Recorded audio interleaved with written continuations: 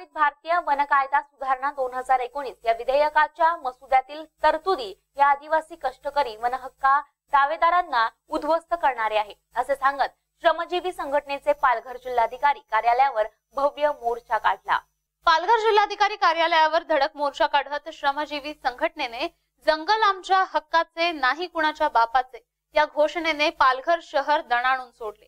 या विधेयकाच्या अन्यायकारक तरतुदींना विरोध करणारे निवेदन यावेळी जिल्हाधिकाऱ्यांना सुपूर्द करण्यात आलं. यावेळी मोर्चात आणलेली आदिवासींच्या पारंपरिक हिरव्या देवाची पालखी ही लक्षवेधी ठरली. पालघर जिल्हा अध्यक्ष सुरेश रेंजड यांच्या नेतृत्वाखाली हा मोर्चा काढण्यात आला. यावेळी मोर्चामध्ये आदिवासी कष्टकरी बांधव पारंपरिक वेशभूषा परिधान करून आले होते. जंगलचे राजेच जणू मोर्चामध्ये सहभागी झाले असे दृश्य त्या ठिकाणी पाहायला मिळालं.